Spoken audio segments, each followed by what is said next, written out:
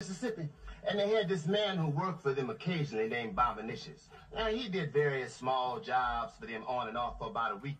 One night, he had just finished bartending a party, and the lady of the house realized that she didn't have any money. So she said to him, Bominicious, I, I want to write you a check, but I, I don't know how to spell Bominicious.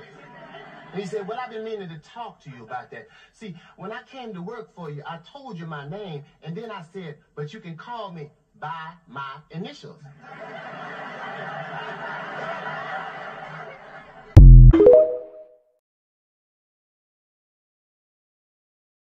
Everybody around here call me Bominicious. It's fine. You call me that. Don't even worry about it. Everybody call me Bominicious. Everybody call you Bominicious. Yeah, everybody in the whole city call me Bominicious. Don't even worry about it. It's fine. You call me that. Don't even worry about it. Bominicious. This is what everybody call. Yeah, everybody call me that, man. Don't worry about it. I'm like, all right. So all week long, my ass talking about Bominicious. What up, boy? Hey, Bominicious, you gonna run around, come over and watch the game with us later on? Hey, Bominicious, run to the store, grab some beer, come on back. My cousin said, What you calling him?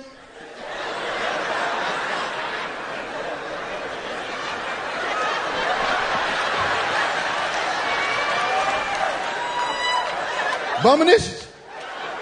He said, Everybody call him Bominicious. It's all right for me to call him that. Like, nah, man, his name's CJ.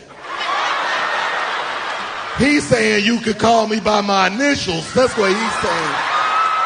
That I could answer that question.